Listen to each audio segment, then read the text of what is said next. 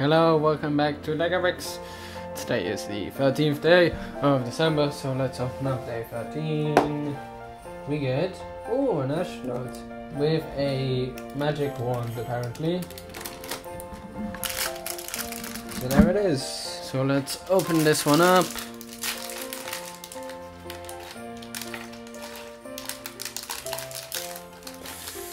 There we have it. So, hmm, what the hell is that? I'm guessing that's part of the suit.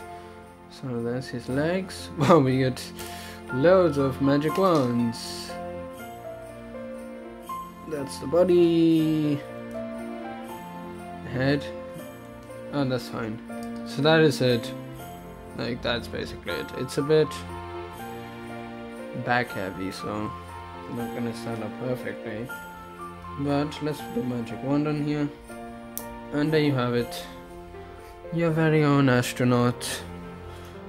Who you can't actually see their face, but that's the love.